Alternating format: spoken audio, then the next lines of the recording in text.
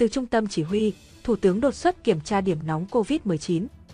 Ngày 2 tháng 9, từ Trung tâm Chỉ huy, Thủ tướng đột xuất kiểm tra công tác phòng chống dịch COVID-19 qua hệ thống trực tuyến tại 5 xã, phường, thị trấn thuộc các tỉnh phía Nam.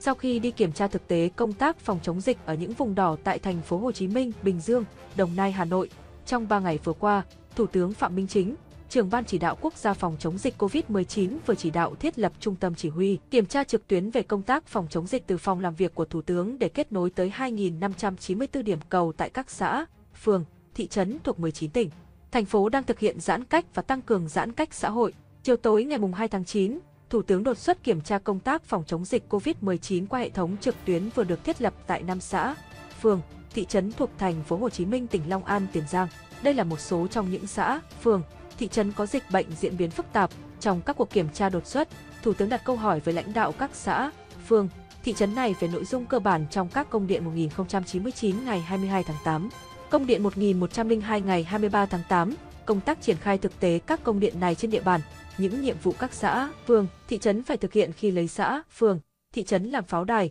người dân là chiến sĩ trong phòng chống dịch. Kết quả, Thủ tướng đánh giá xã, phường đã làm được một số việc cơ bản, Tuy nhiên một số nơi chưa nắm chắc quan điểm chỉ đạo lấy xã, phường, thị trấn làm pháo đài, người dân là chiến sĩ nên quá trình lãnh đạo, chỉ đạo, chỉ huy tổ chức thực hiện còn những hạn chế, bất cập và có địa bàn hiệu quả chống dịch chưa cao. Có nơi chưa kiện toàn ban chỉ đạo, sở chỉ huy phòng chống dịch và chưa ban hành quy chế làm việc. Lại cảnh sở chỉ huy chống dịch vắng người trực một số nơi, sở chỉ huy không có người trực, như phường 10, quận 4, thành phố Hồ Chí Minh không có người trực chỉ huy. Thủ tướng gọi đơn vị qua hệ thống kết nối từ trung tâm chỉ huy không được. Thủ tướng nêu rõ, từ phòng làm việc, ông có thể sẽ kiểm tra đột xuất hay thường xuyên các xã, phường, thị trấn bất cứ lúc nào. Trung tâm chỉ huy này đồng thời giúp ông có điều kiện lắng nghe trực tiếp kiến nghị, đề xuất từ cơ sở gửi đến lãnh đạo chính phủ. Trong cuộc kiểm tra trực tuyến đột xuất, Thủ tướng nhấn mạnh lại yêu cầu các địa phương, cơ sở phải thực hiện thật nghiêm ngặt các quy định giãn cách, cách ly, ai ở đâu thì ở đấy,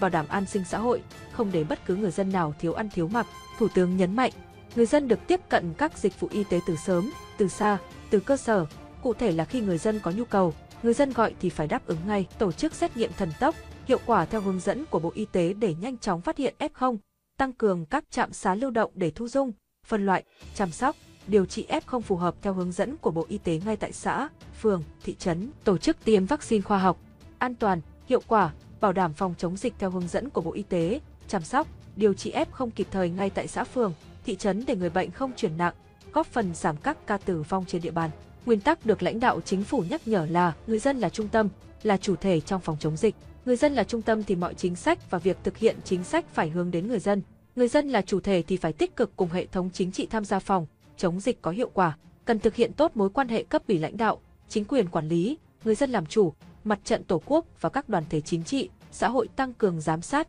kiểm tra trong phòng chống dịch. Thủ tướng quán triệt, những nơi chưa kiện toàn thì phải kiện toàn ngay ban chỉ đạo, sở chỉ huy phòng chống dịch, ban hành quy chế làm việc của ban chỉ đạo và sở chỉ huy, người đứng đầu cấp ủy, chính quyền ở xã, phường, thị trấn chịu trách nhiệm về công tác và hiệu quả phòng chống dịch, thường xuyên báo cáo cấp có thẩm quyền về những vấn đề phát sinh để kịp thời tháo gỡ và thực hiện có hiệu quả các công điện của Thủ tướng và các hướng dẫn của Bộ Y tế.